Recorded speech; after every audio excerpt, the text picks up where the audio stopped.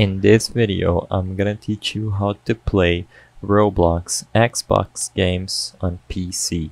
It's a very quick and easy process, so make sure to follow along.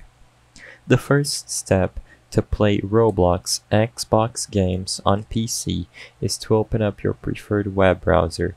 You can use any web browser you like, and after you open it up, type into the web or search bar Xbox Games Roblox and search on Google.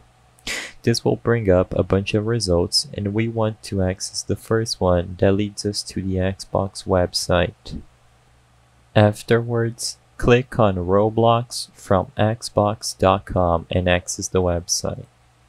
In here, all you have to do after being redirected to this page is scroll all the way up and click on the green Get It Now button.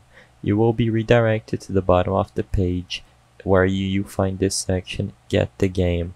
From here, just change Xbox to Windows 10 from the drop down menu and download now. After downloading, just open the Roblox player and you will be able to play Roblox Xbox games on PC for free.